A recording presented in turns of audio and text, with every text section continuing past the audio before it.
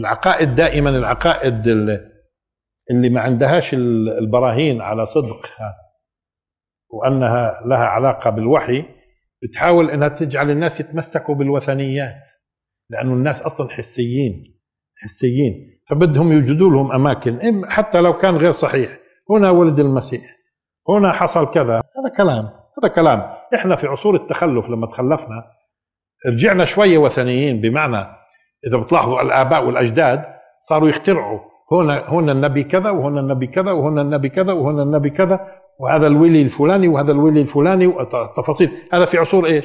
عصور الانحطاط وتحول الناس للوثنيات وكأنه يا سبحان الله الناس بيحبوا هيك آثار ولو كذبوا عليهم إنه يستشعر اتجاه هذه الآثار شيء. واليوم في كثير من القصص اللي تروى أنبياء وهذا المكان واجى النبي هون وقعد هذا كلام كله كلام كله كلام.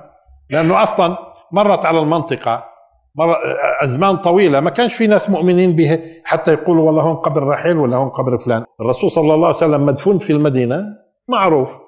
ليش؟ لأنه آه، من من وقتها للآن لم تخلو المدينة من ساكن. مسلم. هيك يقول هذا قبر الرسول صلى الله عليه وسلم. طبعا أنتم بتعرفوا الحرم الإبراهيمي اللي بتشوفوها هاي زي قبور فوق السطح في الداخل. هذا مش قبور هذه مجرد كلام يعني محطوط لو قبعتها أنت فيش شيء بلط لأنه هو تحت موجود إيش؟ المغارة الضخمة اللي ممكن دفن فيها إبراهيم عليه السلام. ومين كمان بتلاحظوا إنه دفن فيها؟ يوسف. طب يوسف توفي في مصر شوية لحظة توفي في مصر. ممتاز. طب ليش موجود هون؟ مش مش موجود قبر يوسف في الخليل؟ طيب موجود. موجود ولا لا؟ آه في ضريح ليوسف. ممتاز. طب وقبر يوسف اللي في نابلس؟ آه هذا قبر يوسف. لا أنت أنت بس قولوا وين بدكم؟ إن شاء الله مليون يوسف مستعدين اليهودي. خلص انتهى هذا قبر يوسف.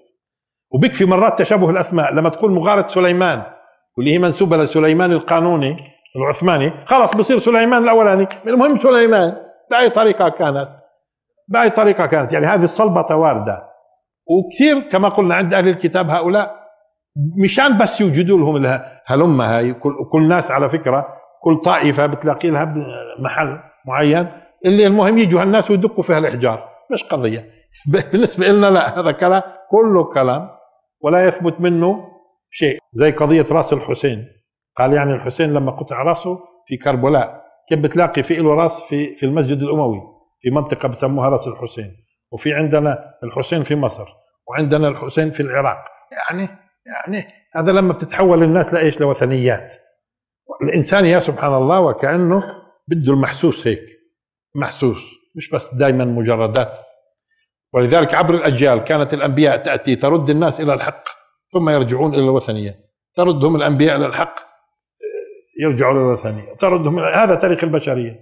وإحنا على فكرة لما تخلفنا إذا بتلاحظوا الناس صارت تقريبا أقرب إلى الوثنيات حتى الآن صار في وعي. وعي يعني بدينا نلاحظ إنه تركوا الناس هاي قضية قبور الأولياء والتفاصيل والتمسح هون وهناك إلى آخره.